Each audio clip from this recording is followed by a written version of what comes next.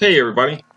In this video I'm painting a picture of an old cafe that we found on our Route 66 journey. Uh, this particular cafe is now known as the Hickory Inn Cafe. It is located in Vega, Texas, and as we were passing through on our Route 66 journey, I noticed the uh, cafe sign missing the um, the A up there, and thought it would be a be an interesting thing to paint. And then, uh, of course, at the base of the sign is an old truck, and it's got a uh, I guess like a fiberglass cow uh, on the on the on the back of it.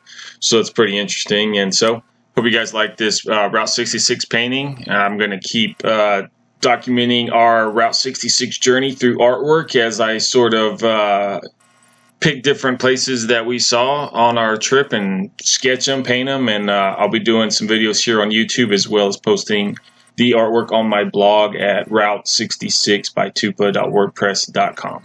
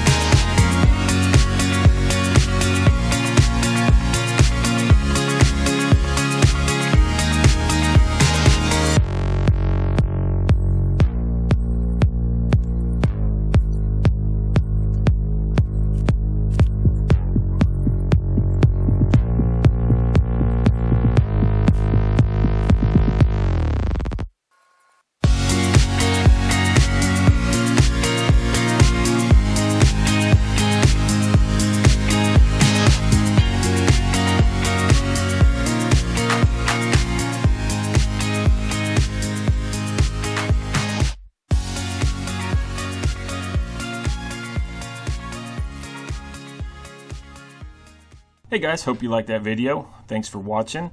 Um, if you did like it, go ahead and hit a like down there for me or subscribe. And if there's anything you would like to see me draw, just leave a comment and I'll get right to it and give you a shout out. Thank you very much. Have a good day.